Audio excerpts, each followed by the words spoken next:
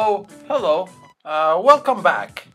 It's been some time since I did part 1 of this uh, video, like literally the previous year, 2023. And this is the year of our Lord 2024. And I know that part 2 was gonna be about how to fix the problems of Gotham.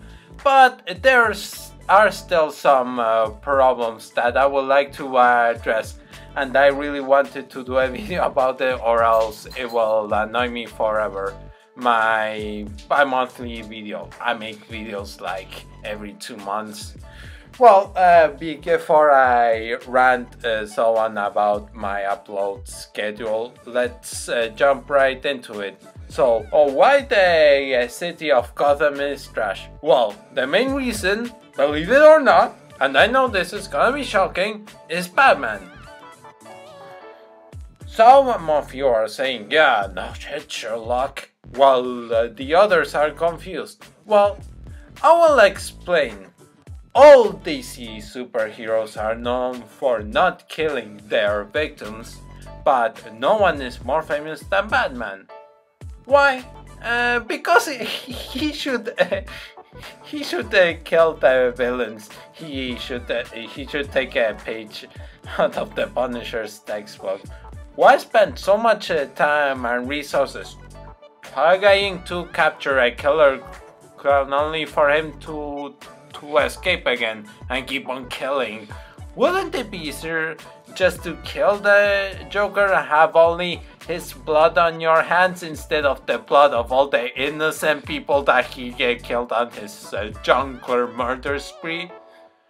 If you kill a killer, then the number of killers will will uh, be the uh, same type of mentality? My ass.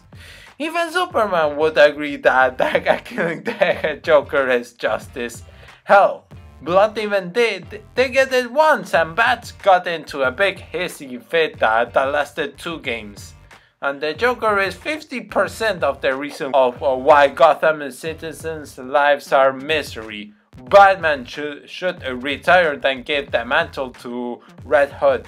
At least his methods work. Another reason why, why uh, Batman is the reason for the downfall is because his so what working space hygiene is what is gonna be the death of this city. When the comics, for the most part, the Batcave is blood, a cave but this game it has bats and bats are pests and I don't mean to do this on uh, bats as much as I did on uh, pigeons. Now, these flying rodents have been known to, to carry all sorts of the, the diseases and viruses. Uh, one of them may be familiar to you where if a Batman is working on nights with all these pets, that they might be, be carrying their diseases to Batman and Batman carries them out to, to the residents of Gotham, unless he bred them specifically to make the Batcave look, look cool. Kinda like what Steven Spielberg did with the rats for The Last Crusade. Uh, back on the topic, how do we know that it wasn't Batman who started the good old Rona in the first place? Being part of the Bat family includes being up to date with your rabies uh, vaccines, am I right? Oh, and I didn't mention that bats are so subtle that you have no idea if for one even bit you or not. So Brucey Boy might have gotten bit tens of times without him even knowing about it. So, so he carry, so he might have carried all sorts of uh, diseases to to the citizens of Gotham and the bad guys. Even though carrying it to the bad guys isn't such a big deal, but to the innocents of Gotham. Now, the third reason is uh, not you so much as your kids. Now, if you have an athletic kid on Gotham, th there's only two possibilities. One, he's going to get a scholarship playing for Gotham U University or th thankfully a university in Central City or in Metropolis or that or that he's going to get recruited to be the next Robin.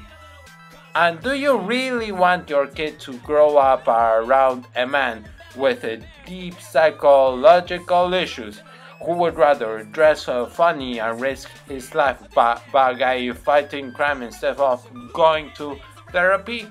Okay, okay, that's honestly your man. We would all rather fight crime and dress funny than go to therapy. Or do you want him to go be a doctor or have a high paying job or become an athlete someday? Well, you you decide, parent. Fourth and the final reason is take a look at this picture. Here, what it says is he could literally lift the collar above his head. What's the point? God, Gotham is fucking useless. This is why the fucking clown gets out every weekend and kills a kid. So yeah, the police, uh, yeah, the police is uh, partly to blame. So dear citizens of the fictional city of uh, Gotham, this is what your uh, your money for taxes is uh, going to. It's fucking useless.